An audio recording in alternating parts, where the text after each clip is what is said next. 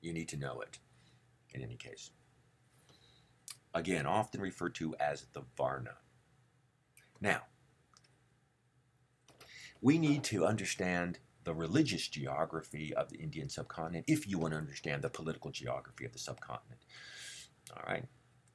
Because it's fundamental. Some observations that you want to take note of.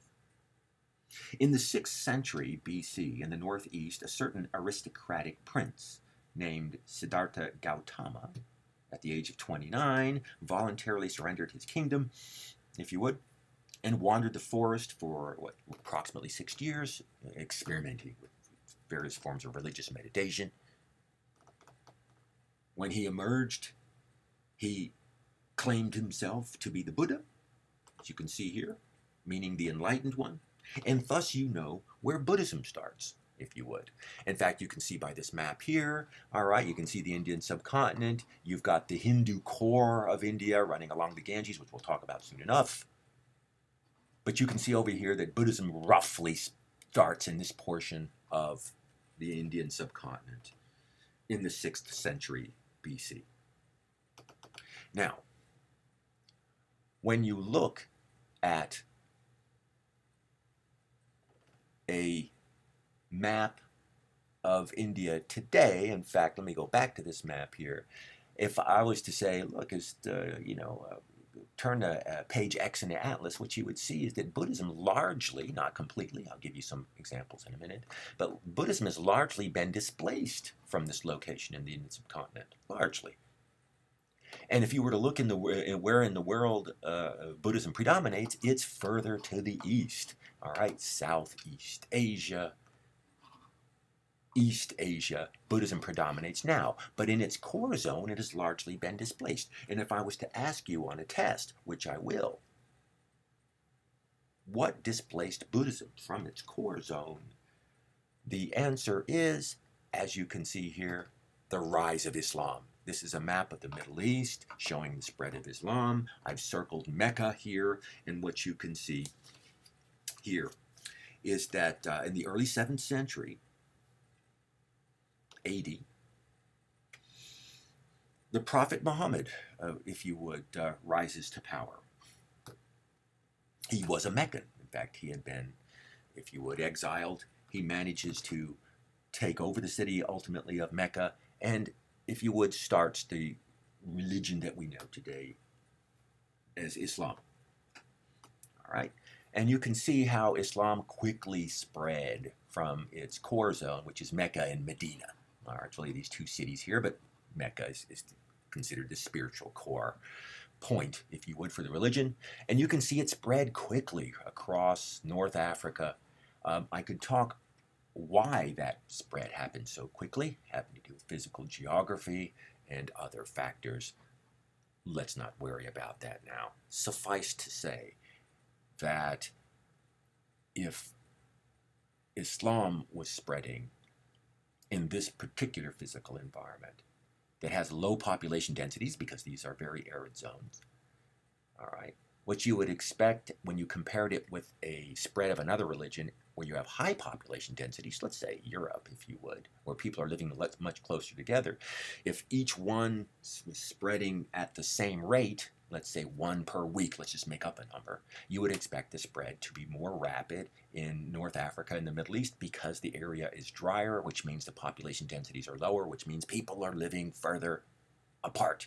And so uh, conversion rates being the same, let's make that up, all right, what you're going to get is a rapid spread over these lightly populated areas. Within 100 years of its founding, Islam is knocking on the door the Iberian Peninsula, if you would, into Spain.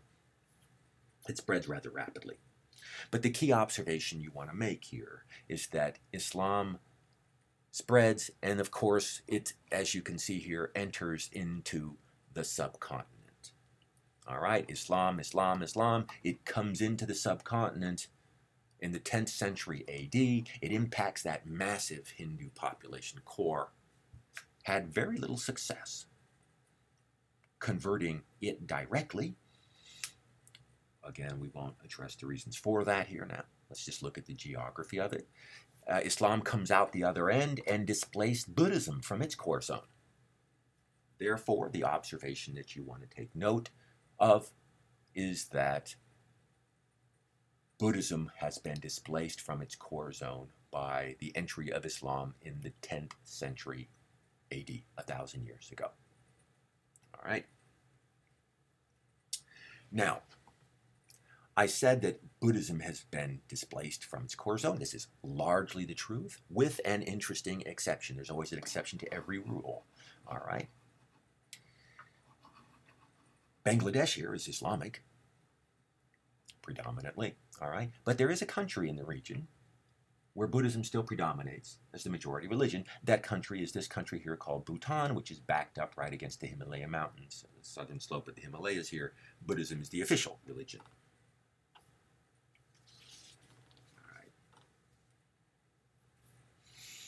So Bhutan is the principal expression of Buddhism, remaining relatively near Buddhism's hearth region. And by the way, since we're here, we have the Himalaya Mountains running right over here. Since we're here, let's look at the country of Nepal, which is uh, almost next door. The Nepalese, by the way, were originally Buddhists, but are now overwhelmingly Hindus. Now, Here we have an image of the southern flank of the Himalayas. And uh, this is essentially is, uh, I'm circling here with the cursor, this is essentially Nepal, all right? You have the Tibetan Plateau, which is China now, although that's a debatable issue with some. Let us just go with that being called China today. And we have India below. But we have Nepal here on the southern flank, if you would, of the Himalaya Mountains. And of course, this is a geography class, so you have to take uh, notice of, of fundamentally important and high profile geographical features, and that is that Mount Everest, the highest mountain in the world, is located here. Uh, almost direct, well, essentially on the border between uh, Nepal and uh, the Tibetan Plateau in China. You can see Mount Everest there uh, with what's about uh, 29,028 feet, I believe, or so in any case. Uh, you can see this image here. This is uh, Mount Everest here. The southern flank is in Nepal. And again, that's the highest point uh, in the world. This has become quite a tourist attraction, if you would, especially for those suffering from that informal malady called uh, the emotional problems of the first world, if you would, looking for a certain amount of purpose and accomplishment, people often come to, uh, some people come to Nepal uh, to Mount Everest to climb the highest mountain and, and, have a sense of accomplishment in your life, in any case. I believe uh, you can understand how Nepal is going to foster this uh, or promote this activity. It represents if you would, hard currency, Western hard currency in underdeveloped economies, especially when they've been charging somewhere in the neighborhood you can get a guide to try to take you up here, somewhere between fifty-five and seventy thousand dollars, something like that. In any case, it's pretty expensive, so you can see not everybody can afford that. You can afford that. Well, it's impressive. The observation you might want to make here is that the average person is probably not suited to try to make this ascent. All right, this climb is particularly dangerous, and you have to be in physical condition not everybody is capable of doing so in any case. Uh, so the very fact that it's turned into a commercial opportunity is tragic because there are many deaths which have resulted from people irresponsibly trying to get up this mountain with tours that should not have taken place. In fact, the mountain is fairly well littered with bodies because once you die up here, nobody's going to risk their own life trying to bring you down in any case. Oh, it's a picture of a base camp. All right. Um, in any case, I could put images up there. I would ask you to go ahead and type into the web uh,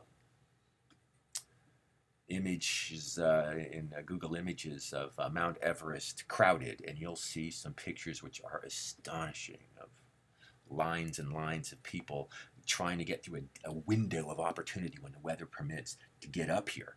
All right. Who cannot be up in this zone very long because there's insufficient oxygen, your body is dying. All right, you got to try to get to the top, get your picture, and get down. All right, unfortunately, there are many who do not. All right, and of course, if you die and you get integrated into one of the ice sheets coming down, your body gets snapped apart. Uh, body parts have popped up at base camps uh, periodically, as is suggested by this image, of course. You know, and, and if you can just tell by the styling, that's some boot, some boot probably from the 60s or 50s. In any case, and somebody was, uh, if you would, interred in ice for that period of time and has now emerged. A bit macabre, but there you have it. In any case, in Nepal, lest I ask you that question, what the world's tallest mountain is. All right we'll not worry about the Chinese have for the moment. The Chinese are also promoting more tourism to their access, although it's a harder access. Another matter, in any case. Okay. Now, there's another group you want to take note of. We have, as you can see by this image here, an Islamic wing to the northwest, we have a Hindu core, and we have an Islamic wing to the east. Now, between the northwestern Muslim population and the Hindu core, there is emerged another uh, religion called the Sikh religion. We often say Sikh here. I believe the pronunciation is Sikh, all right? But we tend to say Sikh, all right? And the Sikh religion has emerged in this transition zone between Hindu, Hinduism and Islam approximately 500 years ago. It is based in the Punjab state of India, although the Punjab state really extends into the neighboring state of Pakistan over here as well. The observation you want to make is sort of geographic, a geographic translation of this, that, uh, that the Sikh religion is a, uh, if you would, uh, a compromise between Hinduism and Islam. It's a fusing of both these religions. It was an attempt to fuse to, to these two contentious religions of Hinduism and Islam. Let me go through uh, some of the differences or, or the uh, features that fuses together these two religions within the Sikh tradition. All right, and by the way, there's a term you need to know that goes with this. All right, this is because you will see others. Uh, you can see the Sikhs here in London are the population we often associated imperfectly with those who, males who wear turbans. All right, a lot of uh, individuals in the West often associate that with Islam. That's a mistake.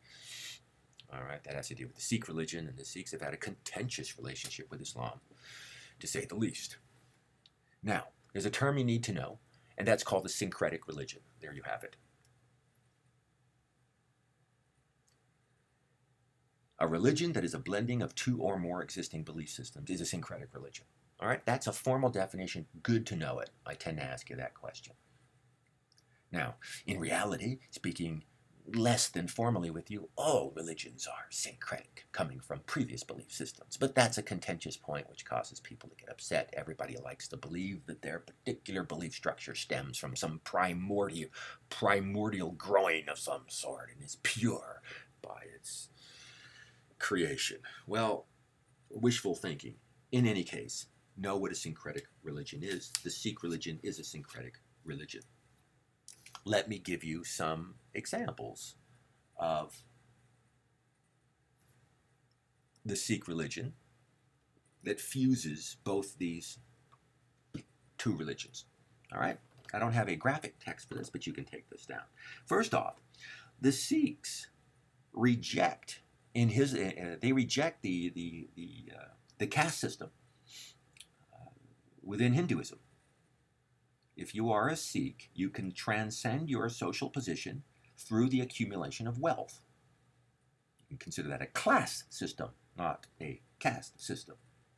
All right, so there is no stifling caste system within the Sikh tradition. The Sikhs reject idolatry.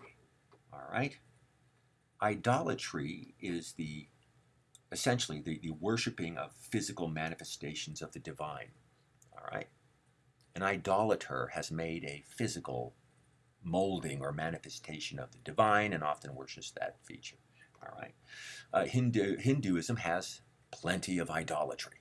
See all kinds of images of the divine uh, entities. All right. Technically, Christianity does not approve of idolatry. I say technically because we know that Christians like to make crosses. And that's a representation, or at least it's emotionally responded to as a representation of the divine. Nevertheless, technically, Christianity does not allow idolatry. You're not supposed to be doing this. The Sikhs also rejected in Hinduism the multiple gods. Sikhs are monotheists, in, in effect. All right?